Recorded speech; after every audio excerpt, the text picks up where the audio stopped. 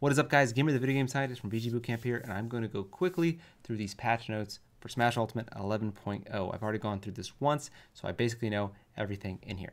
So let's start with this thing that a lot of characters have, match the vulnerability with other fighters when falling in place. What this basically means is sometimes people get hit and they land into the ground. Um, this is something I've read, I don't know if it's true yet, but some characters I think either had more stun or less stun in some of these situations, and this fix is to make sure everybody has the same amount of stun. Um, there's no weirdness when people land in situations like this. Next up, this is a big one. This has been a, in the game for 20 years. People have been asking for this to get removed, and this is the Rock Crock. Basically, when you up B with Falcon or Ganondorf and it connects, they have a ton of lag afterwards. So they removed that, um, and you can act almost immediately, meaning if, if a Falcon or, or your Falcon or Ganon, you up B someone next to the ledge and they wall tech it, they won't be able to punish it as easily because you can act really quickly after it. Pichu got some buffs. This is great. Uh, they decrease the damage on all the moves that damage Pichu, which is important because the character is very light, and a lot of Pichu players have been asking for this because they're like, we're already light, so we don't like this when this happens to us. Um, but next, so when Pichu neutral airs, most of his body is inside of um, is inside of the hitbox, so it's pretty good move.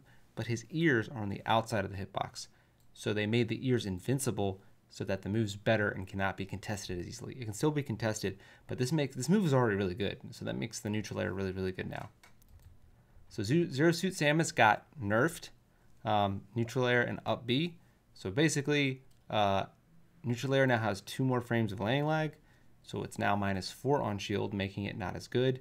Uh, Zero Suit's up special, up special, up B now is six frames instead of four frames. Yeah, so Zero Suit's neutral air is now minus 4 when perfectly spaced, making her pressure not as good, but still really good. I mean, she got a one frame jab, etc. Up special now comes out on frame 6 instead of frame 4, so it's not going to punish moves as easily um, when they hit the shield, which is, it's, it's, it's not like an insane nerf, but those two frames really do matter, so we'll have to see how this affects Marss, etc., and other top Zero Suit Samus players. All right, so Wario. Now, Wario's nerfs are still pretty bad, even though they seem slight. One, his up tilt wah, wah, wah, isn't as active anymore, so that confirm up tilt into waft isn't going to be as good as it used to be. Second, the um, the half charge and the full waft now come out three frames later each. So half charge is now from five to eight. Full charge is now nine to. It's either nine to twelve. I think it's nine to twelve. So what this means is um. Him being able to hit confirm into his waft is going to be a lot harder now. So uh, yeah, that's pretty bad for him. I'm not gonna lie. Uh, we don't know yet if his super armor's later now on his on his big waft, but like this is pretty bad because Wario like is a really good character, but he needs this comeback com- mechanic to be like good, good. So we'll have to see. Like, uh, I, I, Glutonny's amazing, so I don't think he's gonna have problems um, adapting to this. But in general, that's pretty bad for Wario.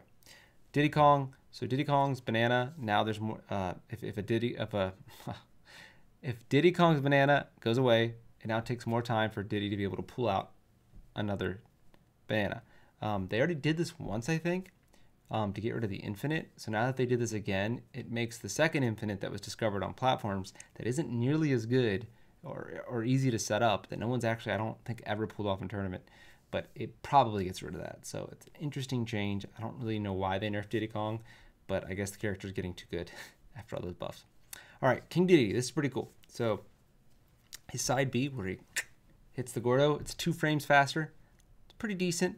Um, now, when you throw it up against the wall or against the stage, it connects way easier, which is great for ledge trapping and edge guarding, um, being able to do this. But also, when like someone hits the the Gordo back at you and you press A or side B, like the range for which uh, Dedede will grab it and throw it again is way bigger. So you don't. It's it's way easier to time that. So I think this is actually like a. It might seem like a tiny change, but that side B move was already really good, hitting the Gordo. So I think this is actually really good for uh for King Dedede. All right, Little Mac.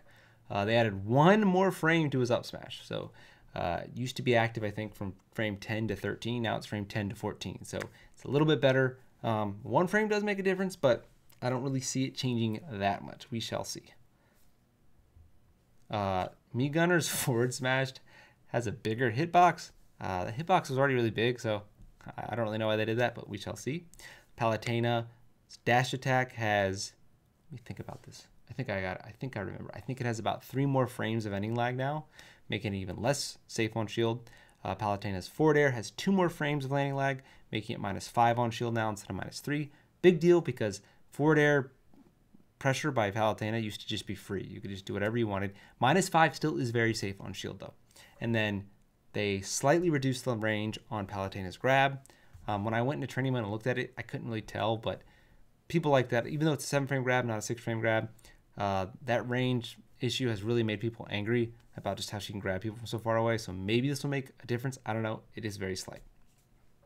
So, Joker. So when he snaps and shoots the projectile, there is now, I think, it's either two or three more frames of end lag on that, making it a little less safe.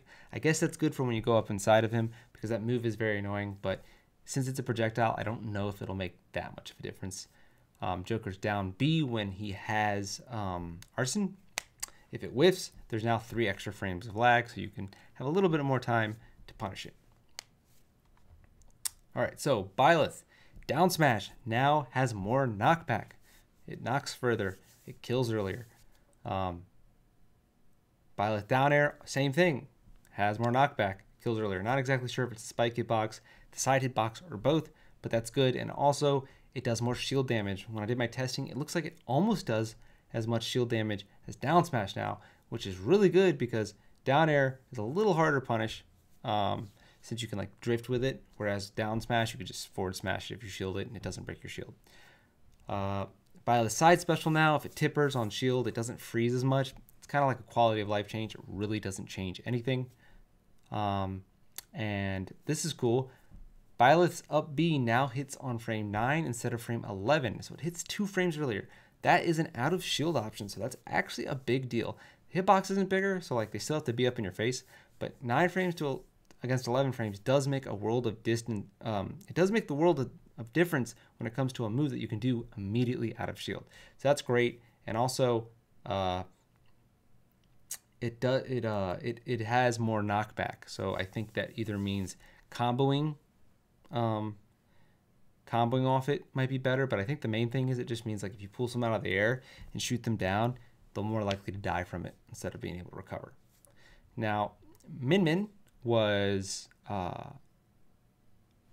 nerfed. Min was nerfed pretty badly.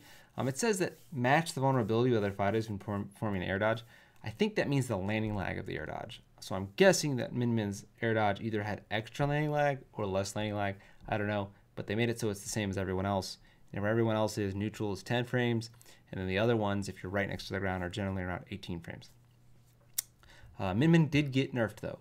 Her side smash can't be charged as long anymore. It's kind of like old Smash 4, old Melee, where once you get to the full charge, you pretty much have to release it.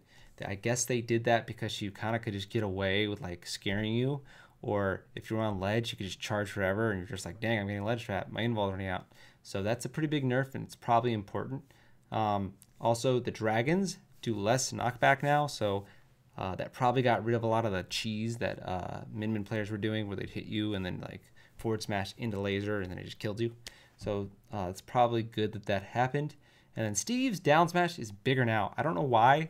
I thought that move was already really good, but the hitbox is bigger. It looks like the hitbox is at least bigger on the first part and maybe even on the second part. I mean, maybe I'm just like, you know, what is it called? Um,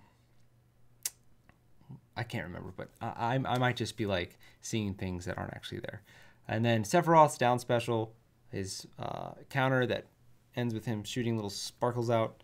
Uh, it makes it so it's harder for people to fall out of it. That's what it looks like. So yeah, um, those are the patch notes for 11.0. Uh, pretty solid patch. Like seeing Byleth getting buffed. Like seeing Pichu getting a little buff. Like seeing Min Min getting nerfed, honestly, because I thought the character probably secretly way better than people thought. Um, uh, Joker's nerfs, I guess. I don't know. I, am really into Palu getting uh, nerfed because she was pretty, pretty good. Um, cool to see DDD buffs. We'll see. Zero Suit Samus nerfs. I, I appreciate to a certain extent. Um, Wario nerfs. I'm really interested in seeing how much it'll change the character because the character's so comeback heavy. Um, and then Captain Falcon and Ganondorf being able to you know act out of their up after connecting them. I'm really happy about that. I'm really excited to see where that goes. So those are the changes. Um, if you like the video, consider giving a like. If you like the video, consider subscribing. If you really like the video, consider turning on notifications. Um, I'm working um, a lot on the Smash World Tour right now, and it launched the first event, Mexico Online qualifiers next week. So I'll do my best to get some tech for uh, Pyra and Mythra up, but I can't promise anything. But I will do my best. So I'm really busy. I got things to do. So it's back to the lab with me. See you guys next time.